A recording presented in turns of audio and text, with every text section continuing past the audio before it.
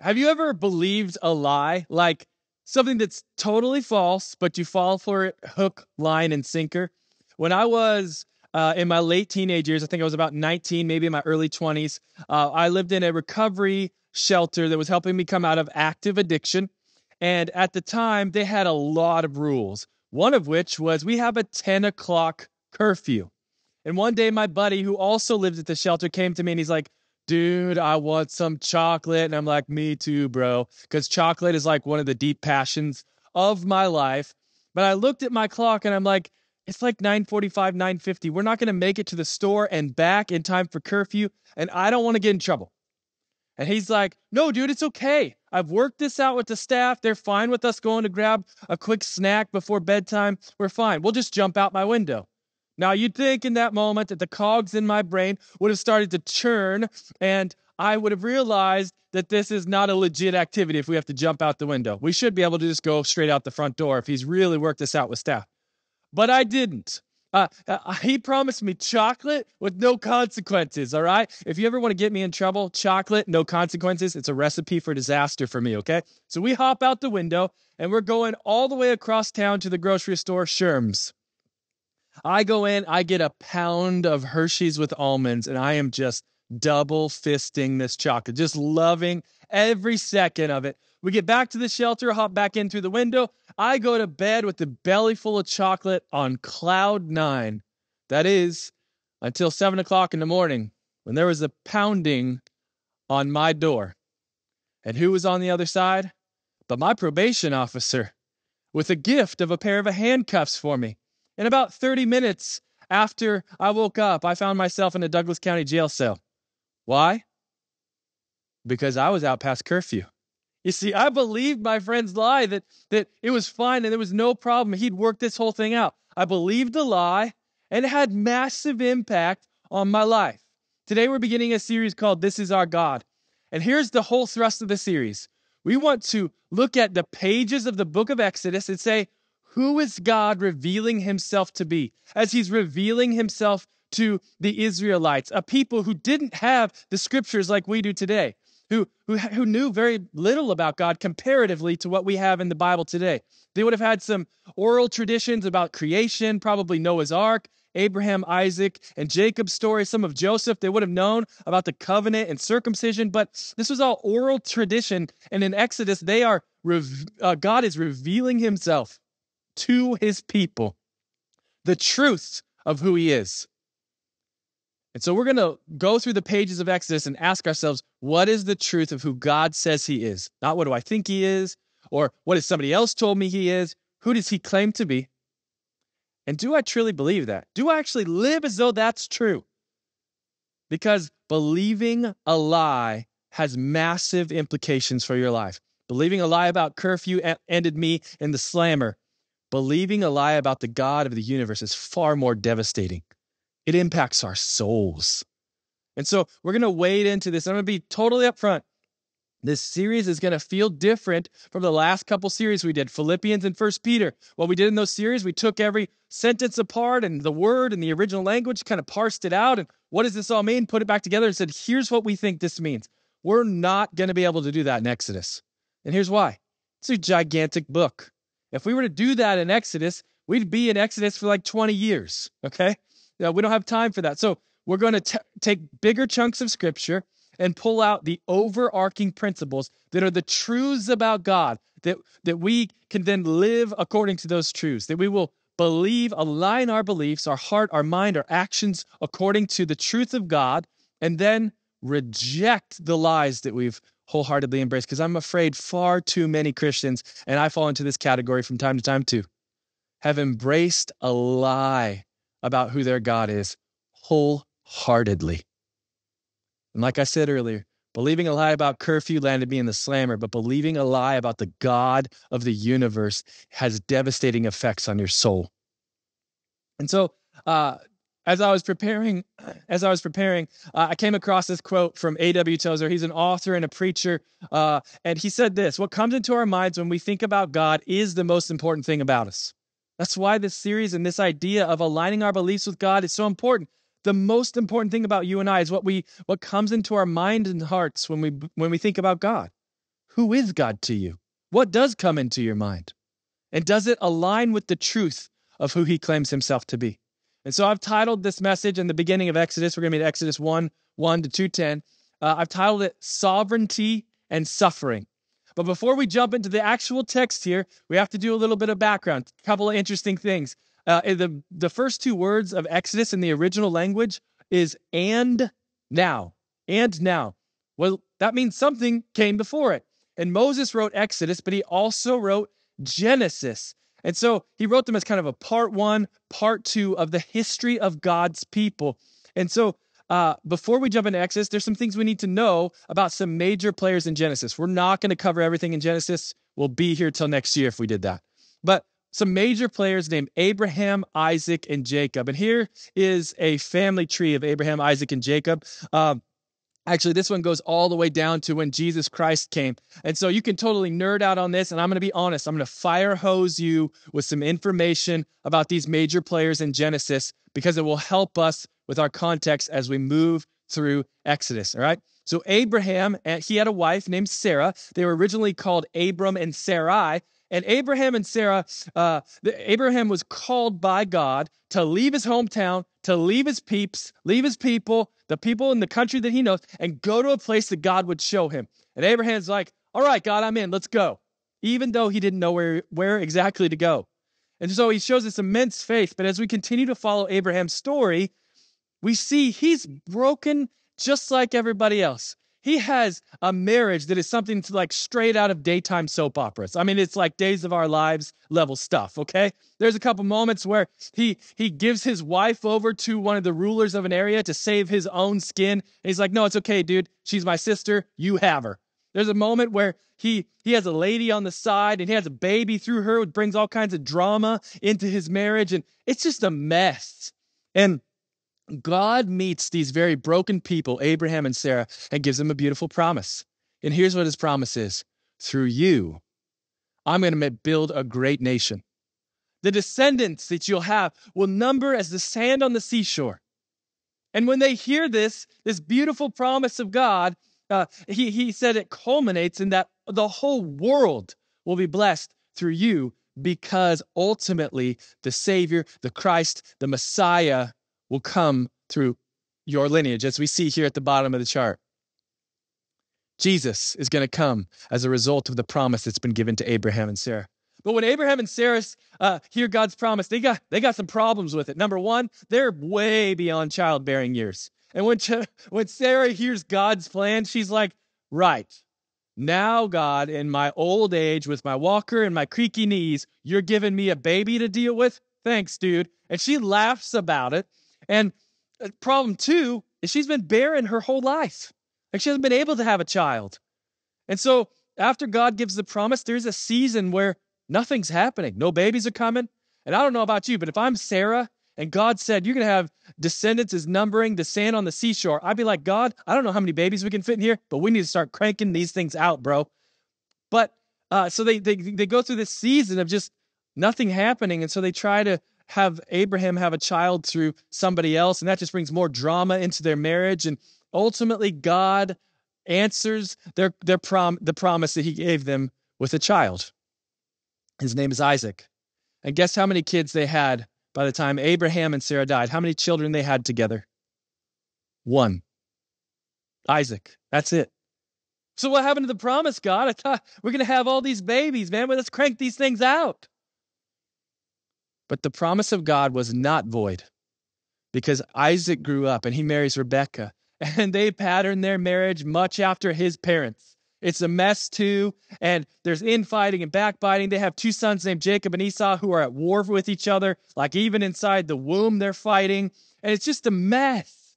And and ultimately they grow up, and and Jacob and Esau reconcile, and Jacob marries and has twelve sons one of whom was Joseph. And Joseph is kind of the golden child of the family, and he knows it. If anybody knows it, Joseph knows it. One day he comes to his brothers and he's like, Hey, dudes, listen to this. I had a dream about you. Look at what you were doing. You were bowing down to me. Isn't that awesome? I know I'm pretty great, so it makes sense. Do you want to bow down to me now or no, it's okay. So as he's pridefully sharing this story. Uh, his brothers, they're just their anger's inflamed, and they they're like, I want to kill this little twerp. So so they're like, let's throw him in a well. And uh and and then one of them thought better of it, like, no, let's not throw him in a well. Here's a better plan. We'll dip his cloak in blood, bring that back to Pops. So Pops thinks he's dead by the hands of some wild animal, and then we'll sell him to slave traders. We'll make some money off this kid. So that's what they do and they sell him, and Joseph ends up in the land of Egypt as a slave, which is where a m- major part of the early, early parts of Exodus takes place. And he's in Egypt as a slave, and you'd think again, God, is your promise void? Like, what's going on here?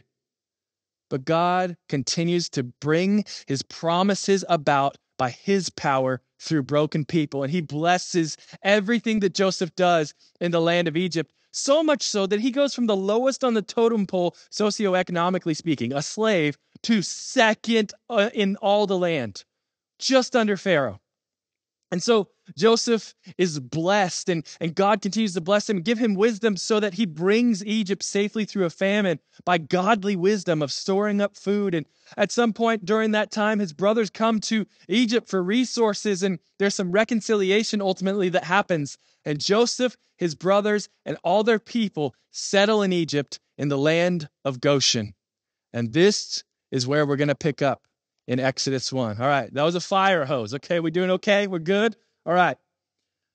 Exodus 1 1. These are the names of the sons of Israel who came to Egypt with Jacob, each with his household Reuben, Simeon, Levi, Judah, Issachar, Zebulun, and Benjamin, Dan and Naphtali, Gad and Asher. I named my son Asher, but there's some weird names in there, okay? I can feel bad for these kids. Like, seriously, a kid's name is Zebulun. That sounds like some sort of alien life form. another kid, Gad. Like that has to be the worst name in the history of names. Hard G sound is like the worst sound in the world. But these are the people who came and they settled in the land of Egypt. All the descendants of Jacob were 70 persons. Joseph was already in Egypt. So we're seeing God's promise move from one child, Isaac, the child of promise, all the way. Now we're at 70 people, but we're still not a great nation. We're still not sand on the seashore. And so God is going to continue to bring this promise to fruition. Then Joseph died and all his brothers and all that generation. But the people of God, or the people of Israel, excuse me, were fruitful and increased greatly. They multiplied and grew exceedingly strong, so the land was filled with them. I'm sorry, I meant to mention this earlier, but inside your outline, there is a, a, a, passage. This passage is on a piece of paper there. Highly encourage you to follow along on that, fill that out, circle things, highlight, underline, follow along with me in the passage. We're not going to have it on the screen. I'm just going to read straight from the Bible. And so God is bringing this promise to fruition through uh, through making these uh, the Israelites multiply and increase in number. But there's a problem that's going to enter. Now there arose a new king over Egypt who did not know Joseph. Uh oh, that's a problem. This new king doesn't know Joseph and how he how God blessed Egypt because of Joseph and how God's mighty hand is behind his people. So what's he going to do? Verse 9, and he said to his people, Behold, the people of Israel are too many and too mighty for us. He looks at them and he's like, Dude, they are growing in number, they're growing in strength. It's freaking me out, man. Come, let us deal shrewdly with them. I love this is terrible relationship advice. He sees that there's a relational tension between the Israelites and the Egyptian, and his answer for that tension is let's make it worse. Like, let's deal shrewdly with them. That's terrible relationship advice. If you take that to your home, it will not go well for you in your marriage or your parenting.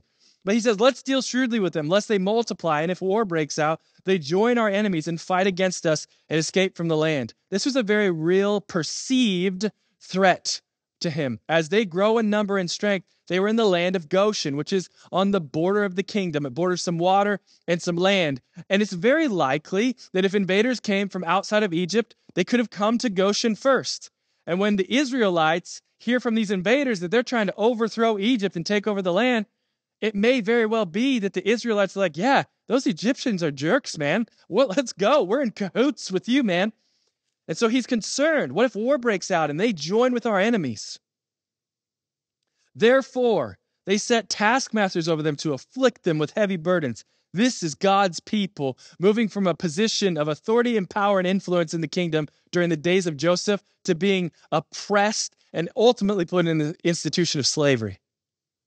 Therefore, they set taskmasters over them to afflict them with heavy burdens. They built for Pharaoh the store cities of Pithom and Ramses. You can actually go to these store cities today. Uh, most scholars, not all, but most scholars are in agreement about their location at this point. They found some artifacts and pottery that kind of uh, verifies the location of these places. But these are places that the Jewish people built for Pharaoh, these store cities.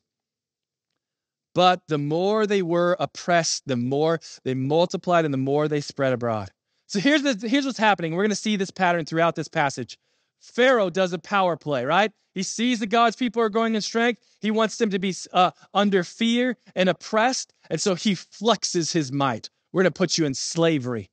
Hard burdens, heavy burdens, harsh taskmasters over you. And so Pharaoh flexes his might, and God's like, That's cute, buddy. Boom, I'm blessing my people. And he continues to bring the promise of God to fruition. Pharaoh, I don't know if he equated the, the, the growth of the Israelites to God or not, but he certainly was threatened by it. He's trying to stop what God is doing, and God continues to show that he is in control, he has all power, he has all authority. And the Egyptians were in dread of the people of Israel. Verse 13 So they ruthlessly made the people of Israel work as slaves and made their lives bitter with hard service in mortar and brick and in all kinds of work in the field. In all their work, they ruthlessly made them work as slaves. So here's plan A. We're going to make them slaves so that they have heavy burdens. They may even die doing some of this labor. We're going to squash this movement and growth of the people. But God's people continue to grow, so Pharaoh's got plan B in the works. Verse 15 Then the king of Egypt said to the Hebrew midwives, one of whom was named Shiphrah, and the other Puah. That is such an unfortunate name. Can you imagine what middle school years were like for a girl named Puah? Unbelievable. But she said, he says, here's what he says to them. When you serve as midwife to the Hebrew women and see them on the birth stool, if it is a son, you shall kill him. But if it's a daughter, she shall live. So he goes to the midwives in this kind of back door, kind of closed door dealings behind the scenes saying, Hey, midwives, here's the deal genocide. We want to get rid of it. We want to squash this movement of these people. Here's how we're going to do it. Baby boys, you kill them. Baby girls, you let them live. Why? Because when they grow up, they can intermarry with the Egyptians and they'll be stripped of their identity, their heritage, and their God, be forced to worship Pharaoh as the God king over them. So Pharaoh, uh, at this time, the king of Egypt, he, he's trying to squash this movement. He's trying to stop what God is doing. And over and over again, we're going to see God is in control. God has all power. God has all authority. Verse 17, after hearing what Pharaoh told them to do, but the midwives feared God and did not do as the king of Egypt commanded them, but let the male children live.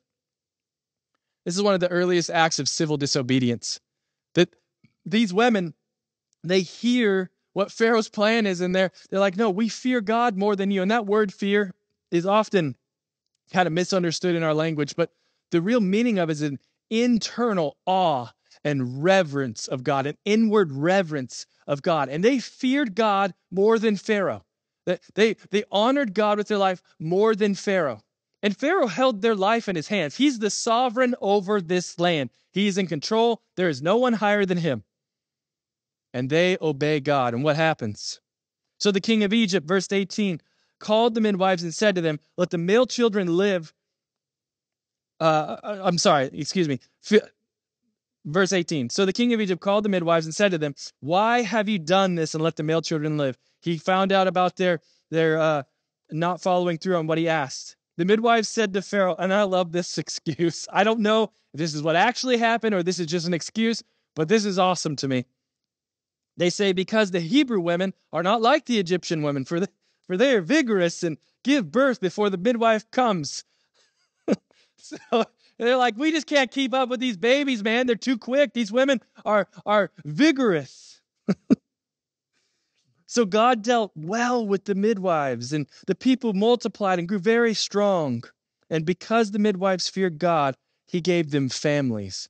God's promise continuing to move forward that despite what Pharaoh is trying to do kill all of God's people, move, uh, squash the movement of God among his people, that he is. Uh, he has deeply convicted these women. that to fear him over anything else, and they obey. And as a result of, of it, God blesses them. God blesses them. He's like, boom, husband and babies. And so plan A and plan B hasn't turned out for Pharaoh, so he resorts to plan C.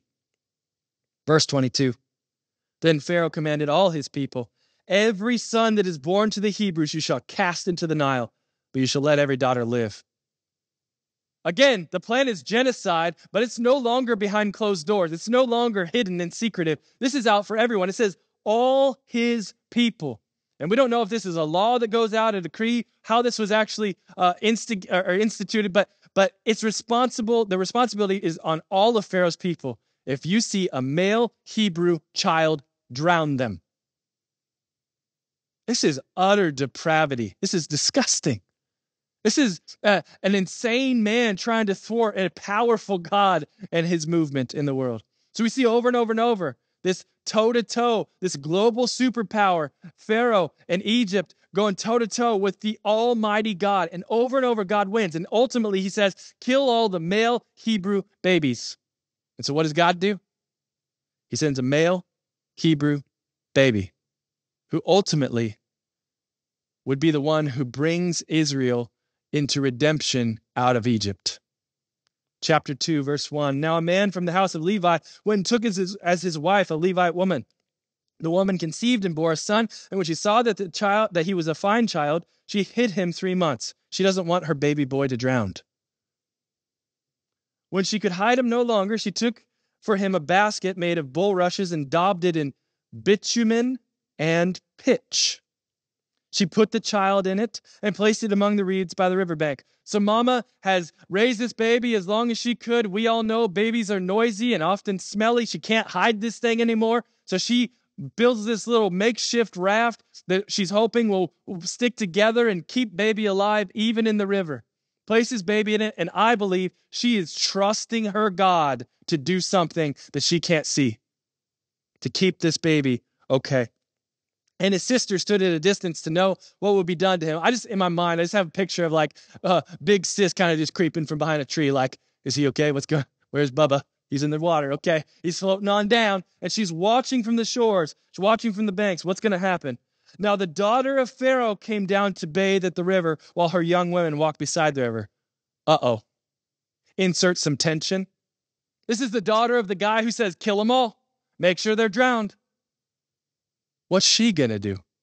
And Sis is watching carefully to see how Pharaoh's daughter is going to uh, handle this situation. She saw the basket among the reeds, and while her uh, and and sent her servant woman, and she took it.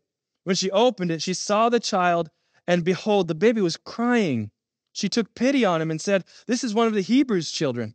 She has compassion on this child. I love this moment because this is God thwarting Pharaoh's plans even in his own household. Pharaoh's daughter, of all people in the land, should be the one to obey what her pops says, but she doesn't. God is sovereignly and in control. His power and authority is working it so that this baby is saved and will ultimately play a huge role in the redemption of God's people. And Pharaoh, uh, excuse me, let me back up here. Verse 7 Then his sister said to Pharaoh's daughter, Shall I go and call you a nurse from the Hebrew women to nurse the child for you? And Pharaoh's daughter said to her, Go. So the girl went and called the child's mother. And Pharaoh's daughter said to her, Take this child away and nurse him for me, and I will give you your wages. So the woman took the child and nursed him. When the child grew older, she brought him to Pharaoh's daughter, and, she, and he became her son. She named him Moses because she said, I drew him out of the water. Ultimately, baby boy gets to come back to mom, be nursed for a period of time, and then she or he is brought into the home of Pharaoh, the very guy who wanted him dead. God is in control. And theologians call this the idea of sovereignty. The only thing I want us to see today is that God is sovereign. And that's not a common word. We don't use that word a lot in our language, and it's not a common concept for us because we don't have a sovereign over our land. We have a democracy. So, what does it mean that God is sovereign? When we talk about sovereignty, God's sovereignty is God's absolute power, authority, and control over all things. We see that all through this passage. That no matter what the sovereign, the king of over this land does, God is in control and he's working by his power according to his promises, all things in the direction he wants. God is sovereign. And I've titled this message Sovereignty and Suffering because we see both of those themes in this passage. And as we were talking on the teaching team, we really need a definition of what suffering is. Because some people think of suffering in a very narrow category, that it is a, an extreme physical or mental or spiritual or emotional pain. But really, I was listening to a podcast by Tim Keller. He's a guy, a, a uh, preacher. He recently passed away. He wrote a great book called Prodigal God. I highly recommend. But he said this about suffering, and I thought it was a great definition. Suffering is losing anything that is important to you. That's suffering. God's people here are in the midst of suffering, and we can see that God is in control behind the scenes. But I, it begs the question for me what would it have been like to live in the pages of Exodus?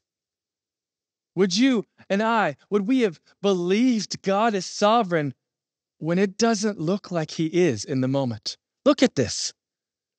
Verse 10 this is the most powerful man in the world, most likely at this time. Egypt is a global superpower. The Pharaoh is the king over Egypt. And he says, let's deal shrewdly with God's people in verse 10. Come, let's deal shrewdly with them. Lest they multiply. And if war breaks out, they join our enemies and fight against us and escape from the land. These people have been made the lowest on the totem pole, and now they're in the crosshairs of the most powerful man in the world. God, if you're sovereign and in control, what is going on, man? Like, we're in a land that's not our own. You promised us the promised land. You said you'll be our God and, and, and we'll be your people, but, but he feels more like God in this moment. He has control over everything. Our reproductive rights, he has control over our, our what we eat, where we sleep. He has control over our very life. Look at this. They, they're made, they ruthlessly made the people of Israel to work as slaves and made their lives bitter with hard service. Look at that word bitter. Understandably, the people of God could have said, Look, God, you, you, you promised us milk and honey. What's with the bitterness, bro? And in the midst of their suffering, it's very easy for God's people to begin to question who God is. God, are you really in control? God, are you good? Suffering often brings up those questions of why is this happening? What did I do to deserve this? God's people often struggle with who God is when life feels out of control in the midst of suffering. So, how do you respond in suffering? I don't know what it was like to be in the, these pages, but as I was reading this today, or this last couple weeks, I was deeply convicted on something. I was convicted about how much of my life is a pursuit to avoid pain and how much of Scripture is God using pain for His glory and the transformation of His people. Like uh, so much of my life, I pursue avoiding suffering, avoiding pain, and uh, uh, numbing it, numbing it, running from it, uh, flipping through a screen so I don't have to think about it, avoiding the pain when God often uses pain to draw his people's eyes up to him to remind them that they really need him. So, how do you respond to suffering? How do you see God in the midst of your suffering? Do you ask the questions of why God? Why me? Why this? Why disease? Why divorce? Why relational issues? Why why is my kid going wayward? Why did I not get the job? Why this financial burden? Why this medical diagnosis? Do you wonder and question and wrestle with the whys of suffering? And that's such a natural place to be. And I don't want anybody to feel shame. All of us do that. I certainly do. But I've found over time the whys don't ever really get answered. And I was talking to Shauna and Heather there uh, on our teaching team, and we were discussing this um, this idea of suffering and the question of why. And Shauna, who's our our, our care ministries director and uh, the director of our women's ministry, she had a really profound insight to me. Um, she said, whenever people walk through suffering, I challenge them to not ask why God, but who is God. Can I still say, even in the midst of suffering, when we may never experience this level of suffering, but anything that we that is important to us that has been taken away for us, that's suffering. And can I say, in the midst of that, God, you are still good, and I believe you are still in control. I do not understand what's going on, but I trust you. Like the people in Exodus, they didn't have all these verses about what God was doing behind the scenes. And what did they do? Look at the midwives here. They feared God. Remember that words means an internal, inward reverence and awe. They trusted God even in the midst of their suffering and their pain. Do you trust God in the midst of your suffering and your pain? Suffering casts it is it can help us see God. It can help us cast our, our view back up to Him. And we see that God is being honored even when they were out, uh, when Pharaoh was out to, to get them. These are Hebrew midwives. The, the, the, the very people that, that Pharaoh wants to squash, the very people that Pharaoh has placed in slavery. And they honor God in the midst of their suffering because they know who He is. Even with the limited information they had, they trusted Him. How do you view God in the midst of your suffering? And while they may not have seen it then, God is sovereign. And we see this all through the passage. But the more they were oppressed, the more they multiplied and the more they spread abroad. God is working behind all these things to bring about his promises that started way back in Abraham and Sarah. That ultimately he's working this slowly together, slowly revealing who he is to his people. You know, God could have deposed the king, killed him, and put godly leadership in place, but he didn't. He's slowly revealing himself and, and allowing for a faith relationship between him and his people to come to fruition as they see who he is with the strong, mighty hand in the midst of their pain. And ultimately, the sovereignty of God, his, his sovereign plan, is often not what you and I would want right? Like if I think back on my story, I would have much rather God saved me when I was six years old and I didn't have to go through addiction and brokenness for many years of my life. But God saw fit to bring me through that season that I might be humbled to accept Christ. God's sovereign. He is in control even when life feels out of control. Life certainly looked out of control from the ground floor of Exodus, but up in the heavens, God was moving all things together according to his purposes by his power. And it looks very different than what you and I might plan. It looks like sending a baby who looks like he can do nothing, who's helpless. And she named him Moses because she said, I drew him out of the water. Ultimately, God sent a rescuer in a very unlikely way. This is a great parallel to Jesus that God sent a rescuer in a very unlikely way, that the God man himself, Jesus Christ, came in the form of an infant with another tyrant ruler over him who wanted to destroy God's people and kill the Savior of the world. And you and I have been redeemed, much like the Israelites will be redeemed because that baby grew up and died in our place, that Jesus died the death that you deserve and I deserve. He who knew no sin became sin for us, that we might become the righteousness of God. And on the cross, he took the wrath of God for you, so you don't have to. And then he died, and three days later, he rose again, redeeming you and I. You see, the story of Exodus is the story of God's people. We're included in that. This is the beginning of the promise that you and I have seen come to fruition.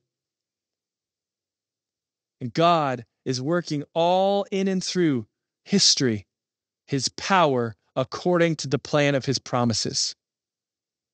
So, in the difficult times, keeping that eternal perspective of what God is doing in the heavens when the ground floor looks real bleak. So, how do you respond to suffering? Several years ago, my daughter came to me and, and she said, Dad, I, have got an owie. And she showed me her finger, and it was a pus filled wound, infected, yuck. And so I sat her down and I said, Ember, listen, um, uh, daddy's going to shoot it straight with you. I'm going to have to do some things and this, you're not going to like it, but it's going to be good for you. I'm going to cut the wound open. I'm going to clean out and drain the fluids. I'm going to clean out the inside of the wound and then I'm going to bandage it up and you'll be good to go in a week or two. And you would have thought I told my child we need to amputate her arm. Like she lost it in the moment. Why? She wanted to avoid pain. So what did dad do? I, I cut it open in the midst of her sleep while, while she had no feeling of the moment and cleaned it out. But we often are just like children trying to avoid that pain. And what if what if suffering is the very thing we need, the, the pain that is a gift that brings our eyes back to God and off of self sufficiency? What if suffering is the very surgery that our hearts need for God to kind of remove some of the infection and say, hey, remember, I, you need me. This is about relationship. You see, what if suffering is actually a gift?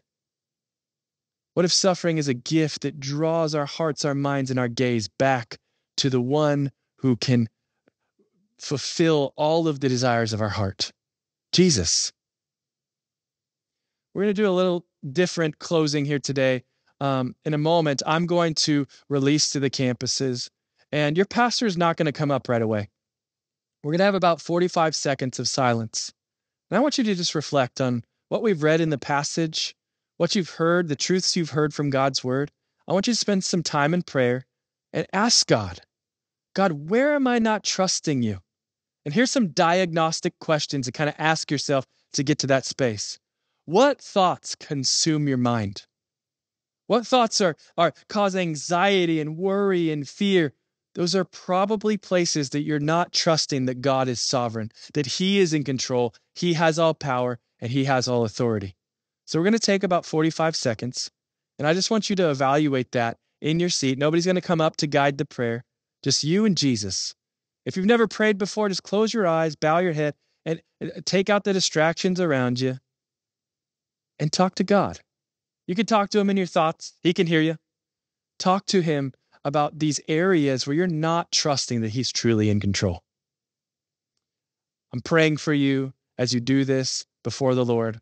I love you guys. Thanks for joining me today. All right, thank you guys so much online uh, for sticking around. It's great to be here with you today, and uh, and really wading into a, a tough subject of the sovereignty of God, even in the midst of suffering. And I really want to challenge our hearts today to evaluate it. Just a couple things. How do you view God when you're in the midst of suffering? How do you view him? Is it have you forgotten that he's in control? Do you do you maybe say God, maybe you're not good? Does the circumstances of your life feel all consuming and that view kind of edges into who God is and have you embraced a lie about who God is or are you living according to the truth? When you go through suffering, how do you view God? And be honest with that. And I highly encourage you talk with a spouse or a trusted friend or your parent about how you view God in the midst of your suffering. And then, secondly, is that view of God accurate? Right? It's one thing to acknowledge, like, okay, I think God is not good when I'm suffering, but what do you do with that? You need to align that with Scripture. Is it accurate? If it's not, remember, we throw out lies and we replace them with the truth. Thank you guys so much for joining me. Let me pray for you. Father God, um, suffering hurts. And God, I, I pray as your people, as we go through the difficult seasons of life, they will come. We are broken people living in a broken world with other broken people. I pray that you will help us to trust that who you say you are is true, that you are good and you are in control, even when life is bad and feels out of control. I pray these things in Jesus' name. Amen. Love you guys. Thanks for joining me.